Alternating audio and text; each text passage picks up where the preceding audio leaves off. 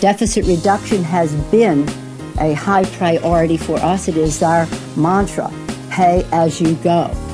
We're just a bit broke, five trillion blown. What in the world is she saying? We're paying for every bill, entitlement they instill. The deficit, it just keeps growing.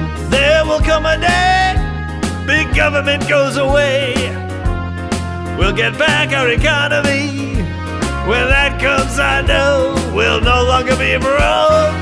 And no more Miss Pelosi, cause we ain't got no money. No money in our economy. No money.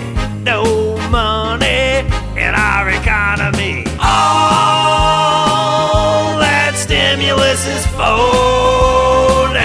So phony. So phony. The bailouts did nothing for me.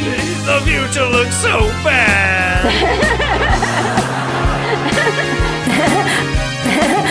Job well done.